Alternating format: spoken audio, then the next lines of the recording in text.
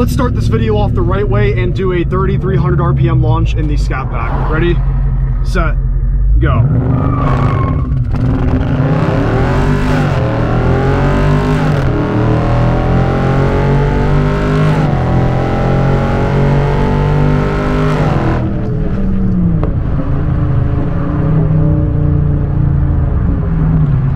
So, should you buy this thing? Well, that may have answered the question right away. Um, but there are a lot of cars you have to consider when looking at this price point. Now, I'm really going to be talking about used prices here because Dodge is asking around $65,000 for the wide body Scat Pack in 2024 for the 2023 models. That's a little bit much to me, but I must say because these cars aren't ever being made again, uh, and they are genuinely fun cars to drive. They have a ton of power.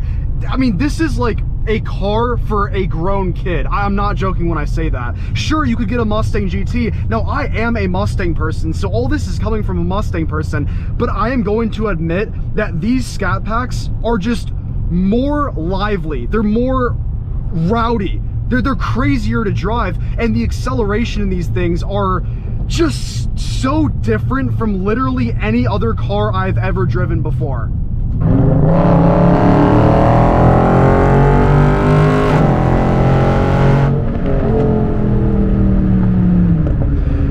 The Scat Pack comes with a 6.4 liter V8 that makes 485 horsepower.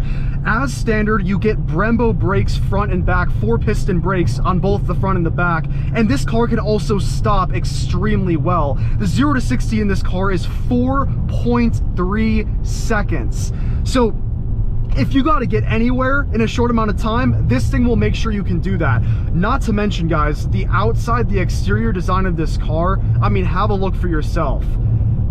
I'm, I'm, I'm kind of at a loss for words for how menacing this car looks. If this thing was riding my ass right behind me, I am moving in the other lane because it is so mean looking. I mean, the whole, I, the only complaint I have with the exterior is the side angle the side just doesn't look that good to me. You get the 392 uh, Hemi badge and then you have those Brembo brakes, but the side doesn't look all that good. The back, especially with the stripes on this car, I think looks amazing. So, should you buy a Scat Pack? The question is, are you somebody that genuinely uses what the car has to offer? And do you also have a decent amount of money, right? Of course, that's in the equation. These are not very cheap cards to own. You could expect your monthly payments to be about a $1,000 uh, if you get like a kind of small down payment on it. Um, it, it, one thing I will say is don't feel like you, there is a need to buy it immediately. I only say that because yes, Dodge is going electric, which I think is the stupidest decision any any dealership has ever made before, especially if they know the demographic of people who buy these cars. Like I would never buy an electric version of this. I, I imagine, I don't want to say for sure, but nothing will beat the sound that this car has to offer, which we'll do a poll as soon as the light turns green. And imagine that just being a quiet acceleration. I could not. But either way, there are still a lot of these on the lot. So it's not like there is a uh, you, you, have to buy it immediately. The one thing is if you're looking for a new one because you don't want to have a car that was treated horribly, which these cars tend to be treated horribly by the majority of owners, then yes, there's a little bit more of a crunch for time in picking one of these up, but not yet.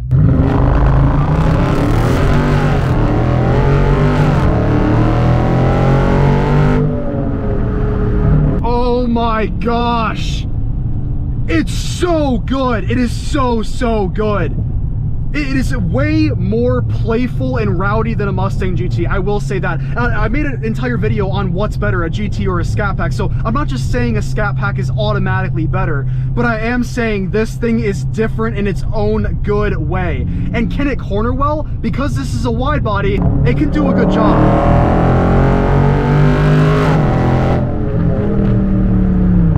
Sure, this thing weighs 4,400 pounds, but I was pretty shook when I got in this thing. That was a little, that was a little sus, but it still handled it all right. I was pretty shook when I got in this thing and threw it around in some corners, and it it does what it does. Like, it's good. You get 20 inch wheels, you get 305s in terms of tire width, front and back.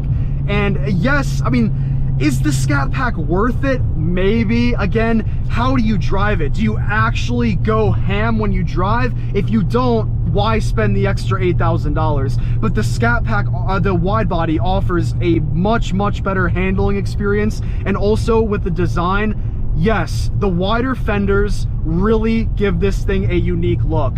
Um, and they're more rare, right? You see narrow bodies everywhere all the time. The V6, of course, is a narrow body. RTs are narrow body. A lot of Scat Packs are narrow body. But the wide body may be a choice to consider.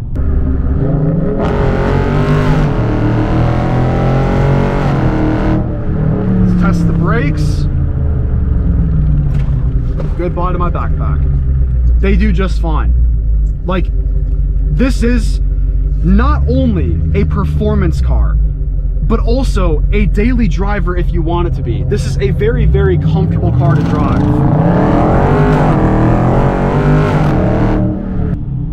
My lord, there is nothing better than feeling this car struggle with the traction, but still put the power down. A lot of cars just cut the power, you're done. Like, it, will drop RPMs. This one keeps climbing but the tires are spinning and it's just struggling to grip. it, it is such a cool experience uh, flooring it from a stop in this thing. It is absolutely awesome. Uh, speedometer goes to 180. RPM, you get around a 6,250 to 6,500 uh, red line when you look at the the RPM gauge, it looks like it stops at 6,000, but it continues past it. So um, it's kind of weird what the what the red line is. Now the RTs stop at around 5,750.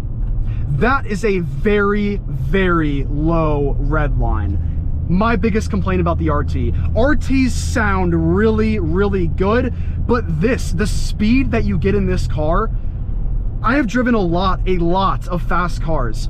This one really doesn't get old. I was expecting it to. I've already driven a Scat Pack, a Challenger Scat Pack. Make sure you watch that video as well. That was a good review I did on that one. Um, but still, I, it, flooring this thing from a stop, it's just as fun as it was the first time I did it. And that's what you want in a car. The RT, it got, you know, a little, I got used to it pretty quickly. Um, many other cars, it's like, okay, yep, it's fast, but I'm used to it. This thing, it's not just how fast it accelerates, it's how rowdy of an acceleration you get when you do accelerate it. It is freaking awesome. Let's see if we can get it a little bit loose on, on this turn here. I'm, I'm not a good drifter, but...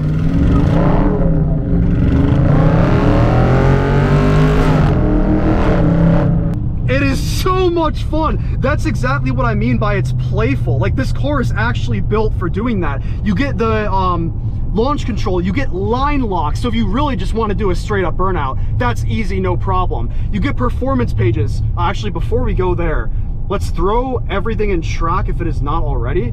It is not. So let's throw everything in track real quick and continue this drive. Um, but if we go to performance pages, we get all these live readings on horsepower, torque. Here's the dyno chart right here. And this will record 120 seconds of history with how we have used the car. So generally speaking, half of this chart would just be maxed out with the way I drive. Um, but that's why you get this car. And most Scat Pack owners do that with these cars, which I respect them for that. Just, uh, please don't do cutting up videos because that's, you know, don't risk somebody else's life. If you're gonna do some dumb stuff, at least just risk your own and, and that's it.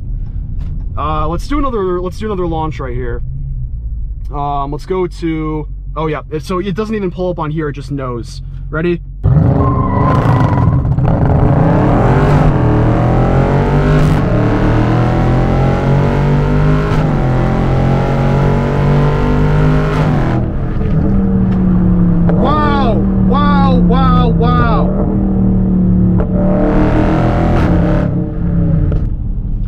Sounds so good too.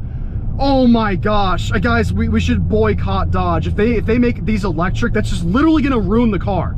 And then they are. That that is their decision. So should you buy a scat pack? I mean, yes. I I think you should. Just be very wary of what you're spending. Don't just impulse purchase this car because they are they are asking way too much for these new. Remember when Hellcats were 50, 60,000? You can find RT, they're asking 50,000 for RTs, which is quite a bit ridiculous. Oh, the way this thing shifts, the way it sounds, the way it accelerates, the way it looks. Have we even mentioned this interior yet? Guys, you get a heated steering wheel. You get heated seats for the back seat passengers. You get, look at this chart. That is, that is freaking awesome. Oh, I think I'm gonna buy this car. This is insane. Um, so yeah, heated and cooled seats, not not cooled for the back seats, but for uh, front seats, heated and cooled. You get a heated steering wheel, all the performance pages, your SRT dashboard, your SRT mode. Oh my gosh.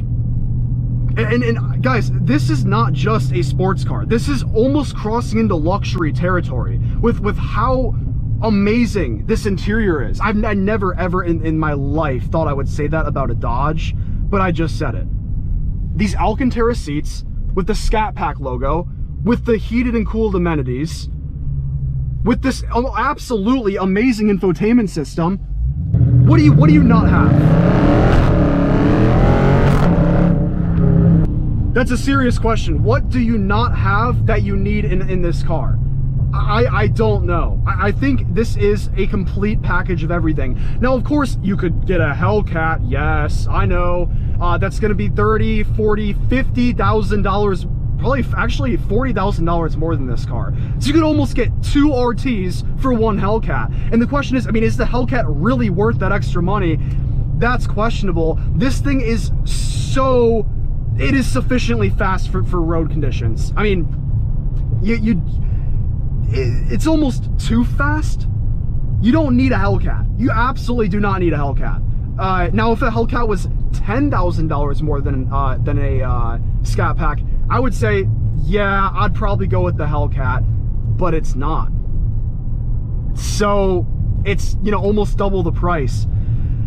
Wow, I mean, this is really a great car, especially the 2020 model years and later with the redesign. Take another look at how good this thing looks. It is, I, I mean, I would give the exterior design like a 9 out of 10. It is they, a, the true definition of a muscle car. The reliability ratings on these cars are usually between 60 and 70 out of 100, which is eh, like that's not that good. Better than a lot of other cars.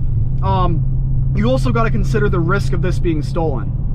If, by the way, if you ever wondered why these cars are stolen so much, the reason is is because Dodge made it, they, they made a marketing strategy.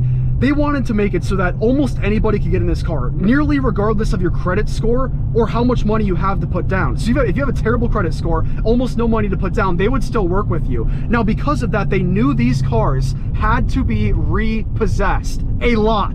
That's why under this little rubber strap down here, pull this thing up, unclip this plastic thing, your neutral strap is down there, and pull that, you can pull this thing down the road, easily start the car, and your car is gone. Gone forever. So, um, it's not because the car is popular or, uh, you know, none, none of that. It's because Dodge set this car up to be taken. They, they set it up to be repossessed, and that just led to thieves stealing the car. Hold on a second.